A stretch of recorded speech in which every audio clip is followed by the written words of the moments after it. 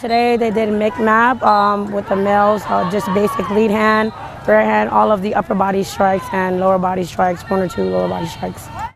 The purpose of MAP is obviously to give that basic foundation of a martial arts history and a background. So uh, we're the only service that does it and everything like that. So it just gives us, as a service, an actual martial arts background so we can take anywhere, obviously in a combat scenario, hand-to-hand combat, Bayo technique, anything like that.